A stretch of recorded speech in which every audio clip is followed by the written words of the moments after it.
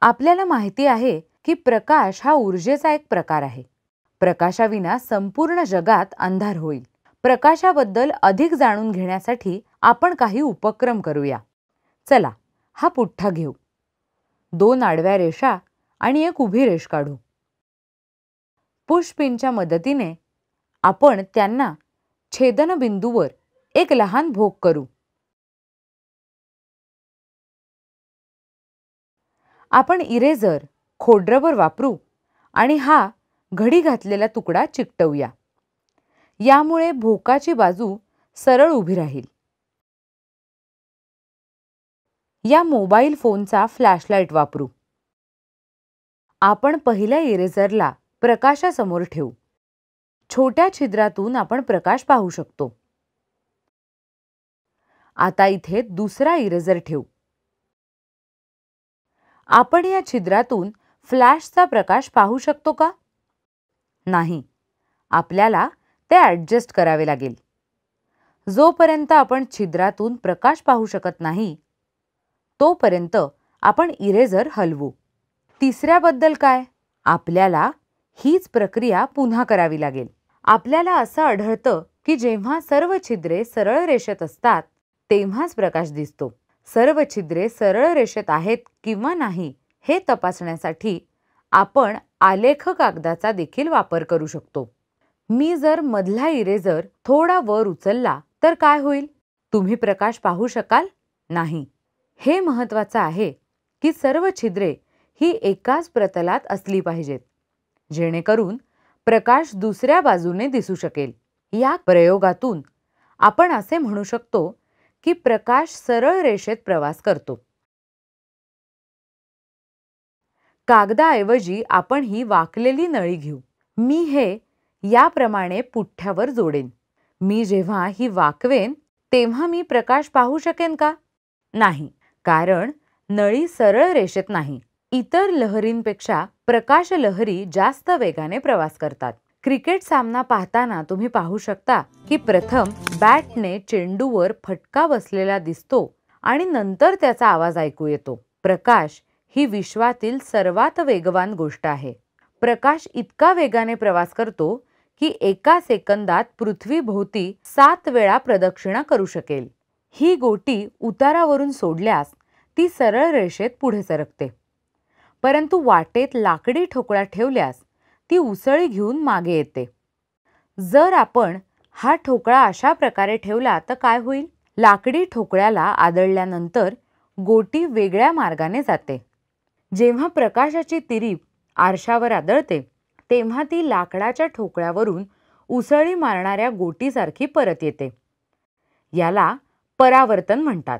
जेव्हा प्रकाश परावर्तित होतो तेव्हा तो दिशा बदलतो. वेगवेगळ्या पृष्ठभागावरून प्रकाश वेगवेगळ्या प्रकारे परावर्तित होतो. जेव्हा प्रकाश किरणे एखाद्या खडबडीत पृष्ठभागावर आपटतात तेव्हा काही प्रकाश पृष्ठभागाद्वारे शोषला जातो. काही प्रकाश किरणे वेगवेगळ्या कोनातून उसळी घेतात. यामुळे पृष्ठभाग निस्तेज दिसतो. जेव्हा प्रकाश किरणे गुळगुळीत सपाट पृष्ठभागावर आदळतात तेव्हा सर्व प्रकाश किरणे परावर्तित होतात. ही प्रकाश किरणे आल्या त्याच दिशेने उसळी घेतात. जेव्हा तुम्ही आरशात पाहता तेव्हा हेच घडते आणि तुम्ही स्वतःचे प्रतिबिंब पाहू शकता. जोपर्यंत पाण्याचा पृष्ठभाग गुळगुळीत असेल तोपर्यंत प्रकाश व्यवस्थित पद्धतीने परावर्तित होतो आणि स्पष्ट प्रतिमा दिसते.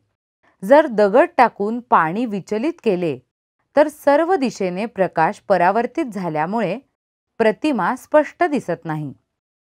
उपक्रम. या उपक्रमातून प्रकाश कसा परावर्तित होतो ते आपण समजवून घेऊया. या काळ्या कागदातून आपण एक चौकोनी नळी बनवूया. आपण प्रकाश स्त्रोत म्हणून फोनवरील फ्लॅशलाईट वापरूया. ही कागदी नळी त्याच्यासमोर ठेवूया. तुम्ही प्रकाशकिरणे बाहेर येताना पाहू शकता. मी याच्यासमोर आरसा ठेवला तर काय होईल? मी आरसा फिरवत असताना प्रकाश किरण सर्व दिशांना परावर्तित होतात. हा आरसा इरेझरला चिकटवू आणि नळीसमोर ठेवू. मी हा छोटा फट असलेला कागद पुठ्ठा नळीसमोर ठेवला तर काय होईल? एक प्रकाशकिरण प्रकाशाच्या स्रोतामधून निघताना दिसू शकतो. आपण आता आरसा फिरवू शकतो आणि परावर्तित किरणांचे स्वरूप शोधू शकतो. एका फटीऐवजी आपण दोन फटी बनवू शकतो आणि परावर्तनाचे स्वरूप आणखीन चांगल्या प्रकारे समजू शकतो. आरशाऐवजी चमचा इरेझर गोटी शार्पनर पट्टी यासारख्या दररोजच्या वस्तू वापरून हाच प्रयोग करून बघा. तुम्ही सांगू शकता का की वरीलपैकी कोणती गोष्ट प्रकाश परावर्तित करेल? मी जर रंगीत प्रकाश वापरला तर काय होईल? रंगांनी काहीच फरक पडत नाही. किरणे त्याच प्रकारे परावर्तित होतात. आता जर तुम्हाला माहिती आहे की आरशाद्वारे प्रकाश कसा परावर्तित होतो तर या विविध परिस्थितींमध्ये कोणत्या दिशेने प्रकाश परावर्तित होईल याचा अंदाज लावू शकता का? आपण अशा प्रकारे आरसा हलवूया. अरब शास्त्रज्ञ अल्लाझेन यांनी अंधाऱ्या खोलीत सूर्याची प्रतिमा कशी तयार केली जाऊ शकते हे सांगितले. एका भिंतीच्या एका छोट्या छिद्रातून हा प्रकाश जाऊन दिला ज्यामुळे समोरच्या भिंतीवर एक प्रतिमा तयार होईल. अंधाऱ्या खोलीसाठी लॅटिन भाषेत असलेला कॅमेरा ऑबक्युरा असे नाव असलेला हा पिनहोल कॅमेरा सूर्य आणि रस्ते निसर्ग यांचे अवलोकन करण्यासाठी वापरला जाणारा कुतूहलपूर्ण प्रयोग म्हणून पिनहोल कॅमेरा लोकप्रिय झाला. ए फोर पेपर वापरून पिनहोल कॅमेरा तयार करू. एक बाजू उघडी ठेवून अशा प्रकारे घडी घालून आपण एक खोके तयार करू.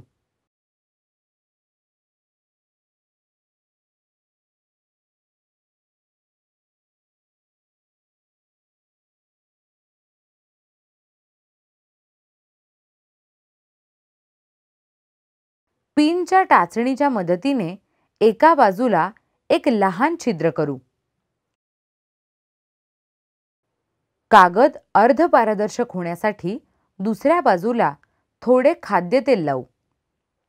आपला पिनहोल कॅमेरा मेणबत्ती समोर ठेवू. आता खोलीतील दिवे बंद करू. आपण स्क्रीनवर मेणबत्तीची प्रतिमा पाहू शकतो. प्रतिमेच्या स्वरूपाचे बारकाईने निरीक्षण केल्यास असे दिसेल की ती सरळ नाही तर उलटी आहे. तुम्ही असे का झाले याचा विचार करू शकता का? तुमचे मित्र आणि शिक्षकांशी चर्चा करा. एका छिद्राऐवजी तीन छिद्रे असल्यास तुम्हाला काय दिसेल? या कॅमेऱ्याच्या सहाय्याने तुम्ही खिडकीची प्रतिमा देखील पाहू शकता. सारांश. आपण प्रकाशाचे स्वरूप अधिक जाणून घेण्यासाठी विविध प्रयोग केले. प्रकाश सरळ रेषेत प्रवास करतो हे आपण पाहिले. हा साधा आरसा किंवा चमकणारे धातू यासारख्या पृष्ठभागावरून परावर्तित होतो. इतर अनेक पदार्थांद्वारे हा शोषला जातो. मेणबत्तीची प्रतिमा पाहण्यासाठी आपण पिनहोल कॅमेरा देखील तयार केला. तुम्ही असे उपक्रम वेगळ्या प्रकारे करून पाहून तुमचा स्वतःचा प्रयोग तयार करू शकता का?